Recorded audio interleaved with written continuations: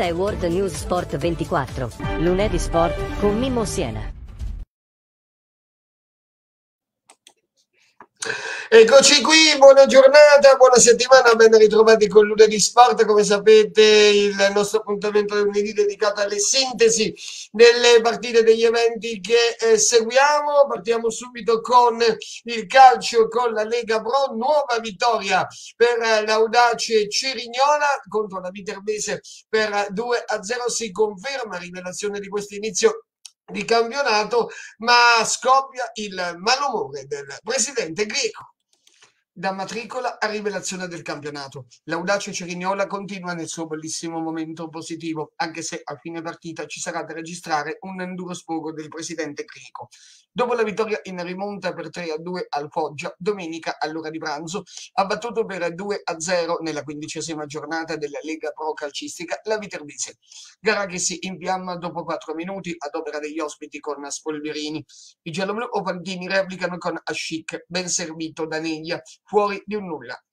I locali si vedono negare un rigore per un mani sospetto di un avversario. Al 25 su una furibonda mischia in aria, Blondet, primo gol con la maglia giallo-blu, insacca per l'1-0 dell'Audace, che fa esplodere il Monterisi più nulla fino all'intervallo.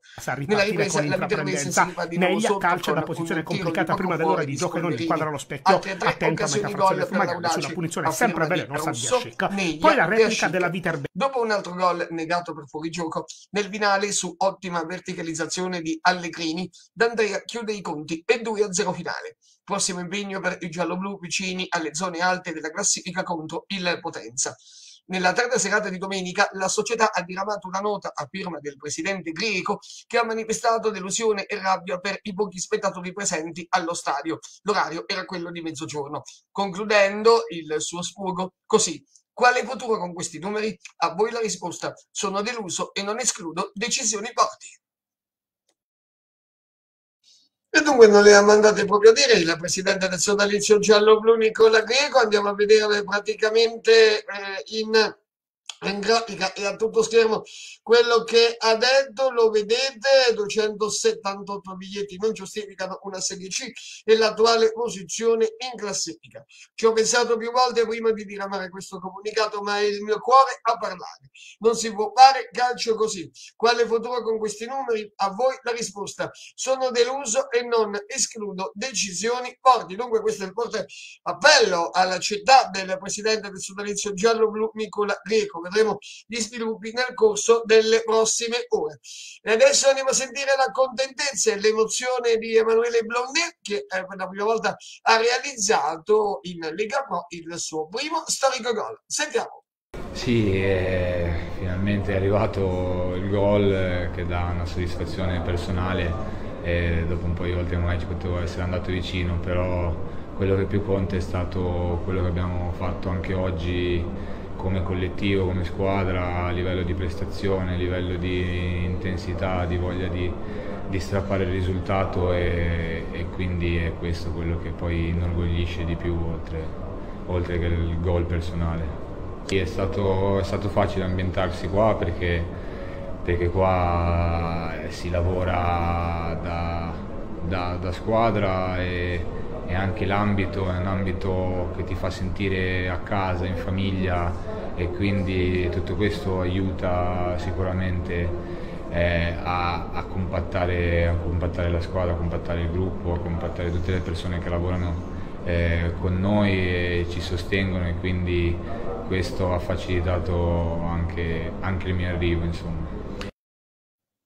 Chiuse le parentesi dedicate alla Lega Pro, adesso passiamo alle sintesi dedicate alla pallavolo, Serie 2 femminile, ottava giornata. Continua il momento delicato della Fenice Libera Virtus che è stata sconfitta ieri dalla vicecapolista del torneo, Francavilla per 3-0. Sconfitta numero 7 per la Fenice Libera Virtus nell'ottava giornata della B2 femminile di volley. Le Ofantine sono state sconfitte dal Francavilla della ex di lusso Manuela Morone per 3-0. Insieme a Costadinova e la Bianca ottengono un successo importante contro una squadra, quella virtussina, che al momento si trova in piena crisi di gioco e di identità. Nonostante i nuovi volti, la Maggeroma non ha giocato mentre la Forte ha provato a stare sul verso insieme alle sue compagne nuove. Al posto di Drago, Cirellino Pollo in panchina e ci ha provato ad indurre fiducia in un gruppo troppo sfiduciato sia a livello di gioco e psicologico, ad indurre fiducia in un gruppo troppo sfiduciato sia a livello di gioco e psicologico.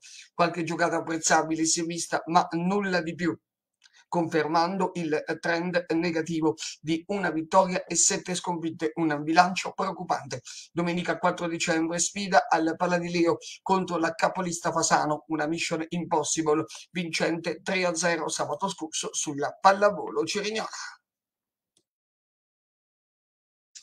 E la situazione è davvero preoccupante per la penisola Libera Virtus, lo possiamo vedere naturalmente anche dalla grafica della classifica, vedete terzo ultimo posto con 4 punti, con una vittoria e 7 sconfitte. E come vedete anche in grafica c'è anche il cammino della pallavolo Cirignola che eh, ieri è stata sconfitta dalla capolista Pasano per 3 0 dalle emozioni del derbo vinto a una sconfitta pesante, come un macigno.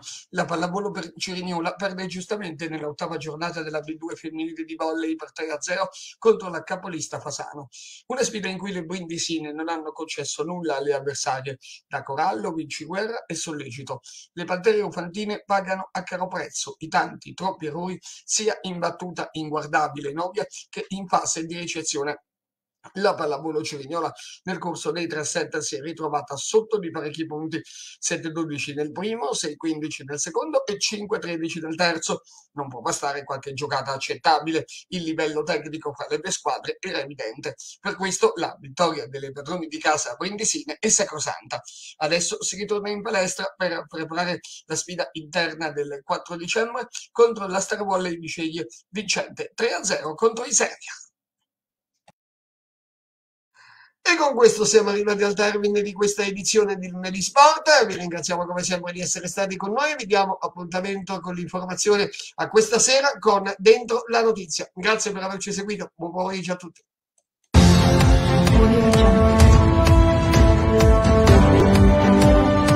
Le notizie, i servizi e le edizioni dei TG sui nostri canali social, Facebook, YouTube, Twitter. Questa è World News 24 TV.